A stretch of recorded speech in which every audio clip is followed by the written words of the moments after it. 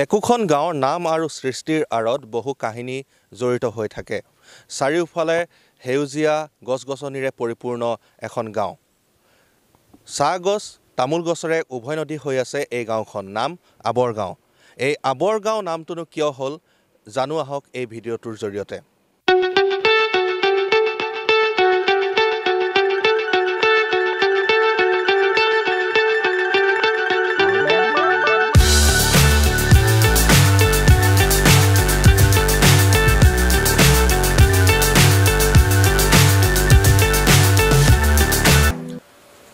আবৰ গাঁৱৰে এজন বিশিষ্ট সমাজসেৱক তথা এসময়ৰ গাঁওবুঢ়া শ্ৰদ্ধাৰ নং য়ংকুক ডাঙৰীয়াৰ ওচৰত মই উপস্থিত আছোঁ আৰু তেওঁৰ পৰাই জানিব বিচাৰিম যে এই গাঁওখনৰ নামৰ আৰু ৰহস্য। আৰু প্ৰথমতে মই খুৰাৰ পৰা জানি ল'ব বিচাৰিম যে আপুনি যিহেতু এই অঞ্চলৰ এসময়ত গাঁওবুঢ়াও আছিল আৰু বহু আগৰে পৰা বসবাস কৰি আছে কেতিয়াৰ পৰা বসবাস কৰি আছে সেইখিনি কথা আপোনাৰ পৰা জানিব বিচাৰিম। আম- ইয়াত বহুত আমাৰ লাগলাৰ কথাটো মই পিছত ক'ম। যিহেতু আবৰ গাঁৱৰ বিষয়ে তুমি জানিব বিচাৰিছা। গতিকে মই যিখিনি জানো আবৰ গাঁৱৰ বিষয়লৈ সেইখিনি মই চমুকে ক'ম। উম, আবৰসকল দৰাচলতে আবৰসকল বৰ্তমান পাছিঘাট আৰু আলং অৰুণাচল প্ৰদেশৰ তেওঁলোক আছিল। কিন্তু সেই সময়ত এইবোৰ কোনো তেনেকুৱা ৰাজনৈতিক সীমা নাছিল। প্ৰাক স্বাধীনতা কালত তেওঁলোকক মই জনাত আৰু শুনাত তেওঁলোকক ব্ৰিটিছসকলে কয়লা কয়লা খনিত এই হাবি জংঘলবোৰ কাটিবৰ কাৰণে তেওঁলোকক তাৰ পৰা লৈ আহিছিল। আৰু বৰ্তমান মাৰ্ঘেৰিটাৰ পৰা আৰম্ভ কৰি তিৰাপ কৰিলৈকে এই ম- টি- টিকক মালু পাহাৰ আহ, নামটক ডিৰক এইবিলাকত যিবিলাক আমাৰ কয়লা খনি আছে তাত থকা হাবি গছ গছনিবোৰ তেওঁলোকক কাটিবৰ কাৰণে নিয়োগ কৰিছিল। যিহেতু কয়লা ব্ৰিটিছে তাত কয়লা নিষ্কাশন কৰিছিল। পাছৰ পৰ্যায়ত এই হাবি জংঘলবোৰ কটাৰ পিছত তেওঁলোকক ব্ৰিটিছে এই উম, কয়লা নিষ্কাশনৰ বাবে আণ্ডাৰগ্ৰাউণ্ড বুলি কয় ভূগৰ্ভৰ মাজেদি গাঁত খান্দি ৰাস্তা বনাই ভূগৰ্ভৰ মাজৰ পৰা ভিতৰৰ পৰা কয়লা উলিয়াব লাগে। সেই কামত তেওঁলোকক নিয়োগ কৰিব বিচাৰিলে। কিন্তু এই আৱৰসকলে তেতিয়া তেওঁলোকে এই কামত তেওঁলোকে কৰিবলৈ ইচ্ছা নগ'ল। তেতিয়া এই ইষ্ট ইণ্ডিয়া কোম্পেনীয়ে তেওঁলোকক এৰি দিলে। হ'ব তেনেহ'লে তোমালোকে নিজৰ জেগালৈ যাব পাৰিবা এতিয়া আৰু বুলি। তেতিয়া সেই তাত থকা সময়ত যিহেতু এই অঞ্চল সেই সময়ত জন জনজাতি অধ্যুষিত অঞ্চল আছিল গতিকে ইয়াৰো মানুহ হয় সেই সময়ত তাত কাম কাজ কৰিবলৈ গৈছিল। এইখিনিতে মই আৰু এটা কথা ক'ব যোগ দিব বিচাৰিছোঁ। ব্ৰিটিছসকলে অকল যে পাছিঘাটৰ আদিসকলক তেনেকুৱা আনিছিল তেনেকুৱা নহয়। সেই সময়ত এই হাবি জংঘলবোৰ পৰিষ্কাৰ কৰিবৰ কাৰণে ব্ৰিটিছ ইষ্ট ইণ্ডিয়া কোম্পেনীয়ে পৰৱৰ্তী সময়ত এইটো A R T and trading company হৈছিলে। তেওঁলোকে কি বোলে নাগালেণ্ডৰ পৰা আও চেমা আংগামী এই লোকসকলকো আনিছিল। কা- তেওঁ কাৰণ এই জনজাতি লোকসকল হাবি জংঘল কটাত কাৰ্যত পাৰ্গত আছিল। গতিকে সেই সেই অনুপাতে তেওঁলোকো আৱৰসকলেও আহিছিল। আৰু পিছত যেতিয়া তেওঁলোকে আণ্ডাৰগ্ৰাউণ্ডত কাম কৰিবৰ কাৰণে নোৱাৰা অৱস্থাৰ কথা অৱগত কৰিলে তেতিয়া ইষ্ট ইণ্ডিয়া কোম্পেনীয়ে তেওঁলোকক ছুটি দিলে। তাৰপিছত তেওঁলোকে কি হ'ল যে ইয়াৰ মানুহ দুই এজনৰ লগতো চা চিনাকি হৈছিলে তেনেকৈ আহ, তেওঁলোকে এইখিনি জেগাত থাকিবলৈ খুব ভাল জেগা পালে সুবিধা পালে।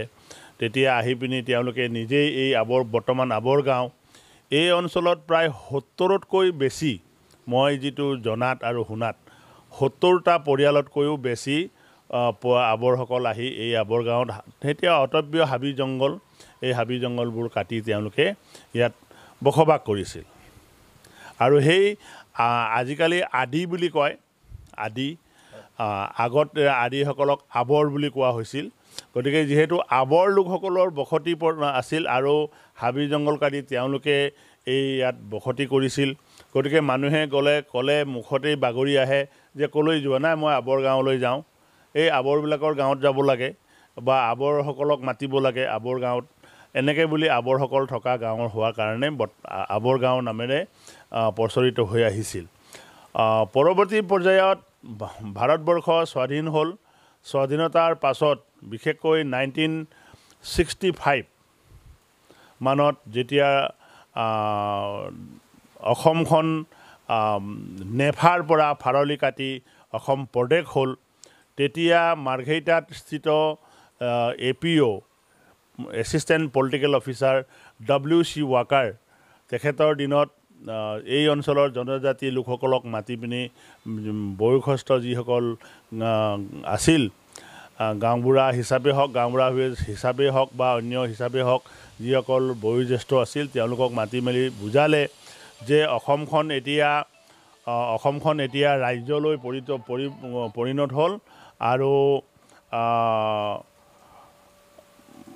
এতিয়া গতিকে অৰুণাচ গতিকে তোমালোকে ইয়াত নেফা আগতে অসমখনো নেফা আণ্ডাৰতে আছিল। নাইনটিন ছিক্সটি ফাইভত এইটো ভাগ হ'ল। নেফাৰ পৰা ফাৰলি কাটি অসম ৰাজ্য হ'ল প্ৰদেশ হ'ল।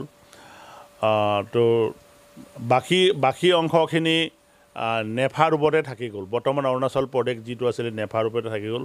বা পাছিঘাট আলং এইবোৰ যিটো আছিল নেফা হিচাপে থাকি গ'ল।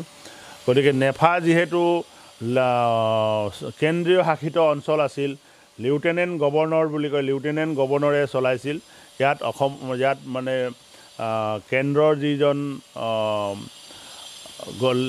প্ৰতিনিধি হিচাপে ৰাষ্ট্ৰপতিৰ প্ৰতিনিধি হিচাপে লেফটেনেণ্ট গভৰ্ণৰ তেওঁ চলাইছিল আৰু কেন্দ্ৰীয় শাসিত অঞ্চল হোৱাৰ কাৰণে বিভিন্ন জনজাতি মূলৰ মানুহখিনিক বিভিন্ন ধৰণৰ সা সুবিধা ল'ৰা ছোৱালী পঢ়া শুনা তেওঁলোকক খেতি পথাৰবোৰ যিহেতু ঝুম খেতি ওপৰত নিৰ্ভৰ কৰি চলিছিল এই জনজাতি লোকসকল। গতিকে স্থায়ী গছ গছনি যাতে বেছি ধ্বংস নহয় তাৰ কাৰণে চৰ নেফা চৰকাৰে তেওঁলোকক স্থায়ীভাৱে যাতে বসবাস কৰিব পাৰে তাৰ কাৰণে তেওঁলোকক খেতি পথাৰ যিটো ৱেট কাল্টি কাল্টিভেশ্যন বুলি কয় আমি অসমীয়াত ক'বলৈ গ'লে আমাৰ যিটো খেত পথাৰ এই পথাৰবোৰ তেওঁলোকে তেওঁলোকক মুকলি কৰাত পথাৰবোৰক চফা কৰা মুকলি কৰা পথাৰ খেতি কৰিব পৰাকৈ তাক ব্যৱস্থা কৰা ইত্যাদি গোটেই খৰচখিনি কেন্দ্ৰীয় চৰকাৰে তেওঁলোকৰ প্ৰতিনিধিৰ দ্বাৰা সেইবোৰ খেতিয় ৰাইজক প্ৰদান কৰিছে প্ৰদান কৰি বিভিন্ন কৰাৰ লগতে বিভিন্ন ধৰণৰ সা সুবিধাবোৰো উপলব্ধ হ'ব বুলি কোৱাৰ কাৰণে এই আৱৰ লোকসকল পিছৰ পৰ্যায়ে তেওঁলোকে য'ৰ পৰা আহিছিল পাছিঘাটৰখিনি পাছিঘাটত আলঙৰখিনি আলঙত তেনেকৈ তেওঁলোকে ঘূৰি গ'ল। হয় নিশ্চয়কৈ বিস্তৃতভাৱে খুৰাই কথাখিনি ক'লে। তথাপিতো এই- তেওঁ কৈছে যে এটা সময়ত প্ৰায় সত্তৰ বা তাতকৈ অধিক আৱৰ লোকসকলে ইয়াত বসবাস কৰিছিল। এতিয়া বিভিন্ন জাতি জনজাতিৰ লোকসকলে এই আৱৰ গাঁৱত বসবাস কৰে। আপোনাৰ পৰা এতিয়া জানিব বিচাৰিম যে এতিয়াও এই গাঁওখনত আৱৰ জনগোষ্ঠীৰ বা আদি জনগোষ্ঠীৰ লোকৰ ঘৰ আছেনে বা তেওঁলোক কিদৰে আছে এতিয়া? বৰ্তমানো তেওঁলোক বহুত গুচি গ'ল। কিন্তু তেওঁলোকৰ চাৰি ঘৰমান মানুহ চাৰি পাঁচ ঘৰমান মানুহ এতিয়াও আছে। তেওঁলোকে এই নেফা চৰকাৰৰ সেই সা সুবিধাখিনিৰ প্ৰতি তেওঁলোকে লোভ সামৰি তেওঁলোকে তেওঁলোকৰ সন্তি সন্তান যিবিলাক যিসকল লোক ইয়াত আহিছিল তেওঁলোকৰ সন্তি সন্তানসকলে ইয়াত থাকি গ'ল যিহেতু তেওঁলোকৰ ইয়াত জন্ম হ'ল ডাঙৰ দীঘল হ'ল। গতিকে এই জেগাটোৰ প্ৰতি তেওঁলোকৰ এটা মৰম আৰু তেওঁলোক মৰম চেনেহ মাতৃভূমিৰ প্ৰতি জন্ম জন্মভূমিৰ প্ৰতি থকা এই মৰমৰ বাবে আজি তেওঁলোকে বৰ নিচলীয়া হৈও মানে দৰিদ্ৰ সীমা ৰেখাৰ তলত বসবাস কৰি হ'লেও বা অন্য ব- দুখ কষ্ট কৰি হ'লেও তেওঁলোকে ইয়াত আৱৰ গাঁৱত বৰ্তমানো আছে। আৰু বৰ্তমান আৱৰ গাঁৱত আহ, বিভিন্ন ধৰণৰ জন- জাতি জনজাতি লোকসকলৰ দ্বাৰা এটা ধুনীয়াকৈ বসবাস কৰি আহিছে। আহ, বৰ্তমান আৱৰ গাঁৱত এখন চৰকাৰী প্ৰাথমিক বিদ্যালয় আৱৰ গাঁও চৰকাৰী প্ৰাথমিক বিদ্যালয়। এই আৱৰ গাঁৱৰ চৰকাৰী প্ৰাথমিক বিদ্যালয়খন সেই সময়ত আহ, আৱৰসকলৰ লগত এজন আমাৰ মিচিং সম্প্ৰদায়ৰ লোক আহিছিল। আহ, লোকো তাত আছিল। তেওঁৰ নাম সেই সময়ত মিচিংসকলক যিহেতু আজি শুনিবলৈ বেয়া মিৰি বুলি কোৱা হৈছিল। তেওঁৰ নাম আছিলে মোহন মিৰি। গতিকে বৰ্তমান যিটো ন মাইলত আমি সকলোৱে দেখিছোঁ ন মাইল প্ৰাথমিক বিদ্যালয়খনৰ ভূমি মানে এঘাৰ বিঘা ভূমি দান কৰিছিল মোহন মিৰিয়ে। মোহন পেগু আছিল তেওঁ। তেওঁ আছিল বৰ্তমান মাজুলী কমলাবৰী সত্ৰৰ সত্ৰৰ এজন শিষ্য আছিল। কিন্তু কেনেবাকৈ আহি তেওঁ ইয়াত আহি ইয়াতে থাকি গ'ল ইয়াৰে স্থানীয় ছোৱালী বিয়া বিয়া বাৰু পাতি ইয়াতে থাকিলে। আৰু তেওঁৰ হৃদয় ইমান ডাঙৰ আছিল যে তেওঁ শিক্ষাৰ দৰে এটা যিটো মহান অনুষ্ঠানৰ কাৰণে তেওঁ এঘাৰ বিঘা মাটি দান দিলে। আৰু বৰ্তমান তাত আৱৰগাঁও প্ৰাথমিক বিদ্যালয় আৱৰগাঁও আহ, মধ্য ইংৰাজী বিদ্যালয় ইত্যাদি তাত আছে। আমি সকলোৱে দেখিছোঁ। তেনেকৈ আৰু আৱৰগাঁও উপ স্বাস্থ্য কেন্দ্ৰ আছে।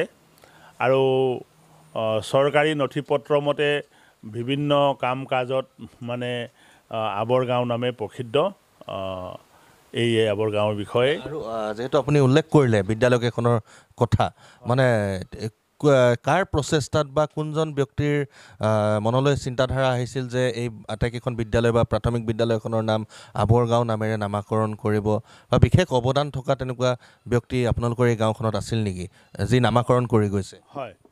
তেনেকুৱা সেই সময়ত যিহেতু আৱৰ গাঁও হওক আৱৰ লোকসকল তাত আছিল গতিকে সেই সময়ত তেওঁলোকৰ টাকাৰ বাম বুলি এজন তেওঁলোকৰ মুখীয়াল আছিল। টাকাৰ বাম বুলি। পৰৱৰ্তী কালত অলিং বামো আছিলে। অলিং বামো তেওঁৰ গাঁৱৰ এজন মুৰব্বী আছিল মুখীয়াল আছিল। এই টাকাৰ বাম গা তেওঁৰ গাঁৱৰ মুখীয়াল আছিল মোহন মিৰি মোহন পেগু তেওঁ নিজেই আছিল আৰু মোৰ দেউতাহঁত আৰু ইয়াত ন মাইলত তেতিয়া আমাৰ স্কুল খুলিবৰ কাৰণে সেই সময়ত আমাৰ পঢ়া শুনাৰ ক্ষেত্ৰত তেনেকৈ একো অনুষ্ঠান নাছিল। গতিকে সুদূৰ শিৱসাগৰৰ পৰা আমাৰ